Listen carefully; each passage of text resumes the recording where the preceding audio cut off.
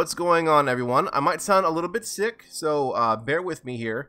But today we are going to be discussing the patch, the buff that they made from ground to air lock-ons. Now there has been a lot of discussion already going on about this. Several different Reddit threads are talking about this. Really there are just two sides to this. Either people love them or people hate it.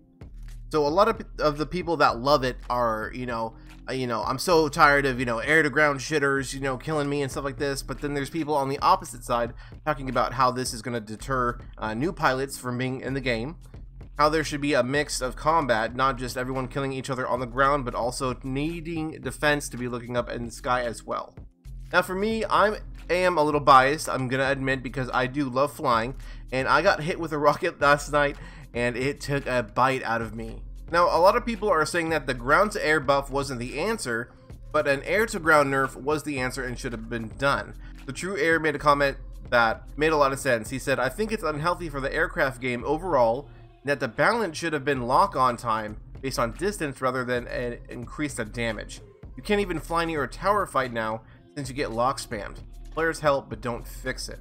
Now the thing with flares is that if your enemy is smart enough and you're flying over, you're going to get locked on, you hit those flares, and now your flares are on cooldown, but you have people consecutively, you know, ready to get that lock-on timer as soon as those flares pop off. So any big fights that you're going to be coming across, any big, huge fights, you're going to be getting hit with sky guards, with, you know, with AA, you're going to get these lock-ons. You're also going to have to worry about other ESFs that are in the air. Now, this is commonly, you know, what how it, you know, should be, how it always has been. You know, you always have those things to worry about. But now these, the, the, the damage is just so much that it's hard to get in, uh, maybe do some damage, help out the team, maybe take out a Sunder, maybe try to, you know, uh, shoot down some rocket pods, uh, you know, to help out a flank that they're that the enemy is trying to do and get out of there if there is no cover for you as, as a pilot, um, you're probably going in there to die, knowing that you're going to die. On the other hand, a lot of people are saying that if you're a good pilot, you should be fine.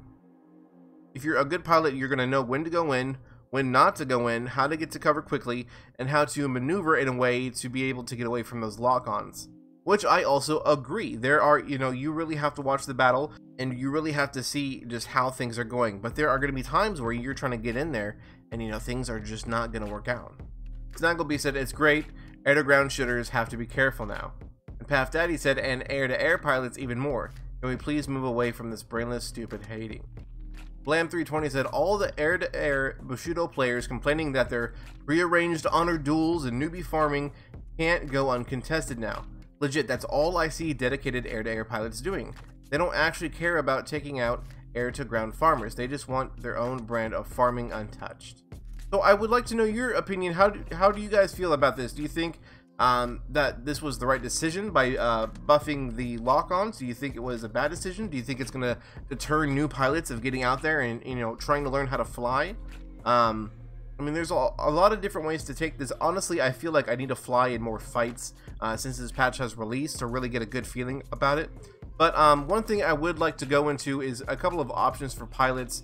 Um, you know, since probably we're going to be using flares for the most part more than we are going to be using our um, our fire suppression.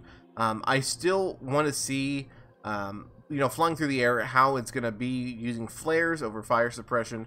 I probably will stick to fire suppression instead of flares, uh, just because when you're flying around, like I said, if, if you've been flying around a while, you kind of know when to get in and when to get out, uh, you know, hopefully. So I might just keep on running fire suppression.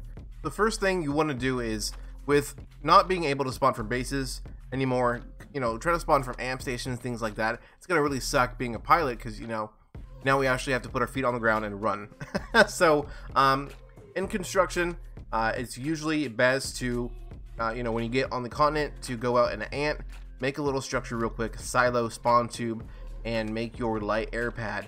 Um, you know, you can stick up a sky shield if you want to, but it's just something so you can keep and you know keep spitting out um, you know mozzies or whatever you're flying reavers scythes. You know, keep spitting those out instead of uh, you know having to spawn on a base. You know, find an air terminal. I think that would be the best bet now for for the pilots is to actually uh, build a, a, structure somewhere, usually around kind of in the center of the map in your territory. So you know it's quickly you know you can quickly get to uh, the bigger fights. One thing that I am going to try is the lock-on jamming field. I, I did get that maxed out. So allied aircraft within 150 meters of the galaxy um, prevents lock-on weapons. Now, having a battle gal, um, you know, having one that could heal, having one, um, you know, a, couple of other galaxies that can help out with healing would be nice. Um, we're probably going to try that later on and see if this will really work. Now, you can max out your decoy flares as well. Uh, disrupts lock-ons for 8 seconds, can only be activated for 25 seconds. Uh, so there is that 25 second cooldown where you could have several other heavies, you know, point up and, uh, you know, and aim at you. But I don't know if that 8 second coincides with the 25. So making it actually 16 or, or 17 seconds. While you activate it, you get 8 seconds. Missiles can't hit you, but it starts to count down as soon as you pop that 25 seconds. So I'm not sure if that worked. I honestly haven't really messed with flares too much to be honest. The 150 is not going to be as far as you might think it is. It's going to be in really close proximity uh, for the lock jamming, which is going to be a problem because if you get that close to your other planes, um, you know, to prevent the lock from jamming, you're going to be getting hit yourself, of course. And it's not like they can get locked and they have missiles flying at them and they come to you, you know, to prevent that.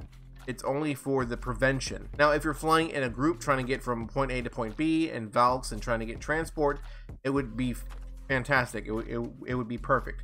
But sending in, uh, you know, it for lock uh, for lock on jamming into the field, you know, trying to help out your fellow ESF pilots, it would be, I mean, you would stay up for a little bit, but I think, um, you know, everyone's going to focus fire uh, in, you know, the galaxy. Another thing that you're going to want to do as, as, a pilot is go into your engineer, engineer certs, and go down to your passive systems. Make sure that you have aircraft synergy maxed out here. While out of combat, you are going to be healing your ship passively. Whether you're in a Mozzie, whether you're in a Reaver, Scythe, any type of uh, aircraft, you will start to repair it over time. So that might also help with you know not running fire suppression. Um, but it's good. It, it's at a slower pace, so it's probably better to find a little uh, pocket to you know uh, sit down in and repair your ship and fly back up. But this is also going to be a big one too, is having this aircraft synergy passive system on your engineer that's really it for this one. How do you guys feel about the new lock-ons hitting as hard as they do? Let me know in the comments, like I said, if you think they're a little too strong, if you think this is good for the game. Uh, you know, I want to know what, uh, you know, what other people think. So thanks for stopping by and watching this video. Like and subscribe, of course. And I will see you guys in the next one.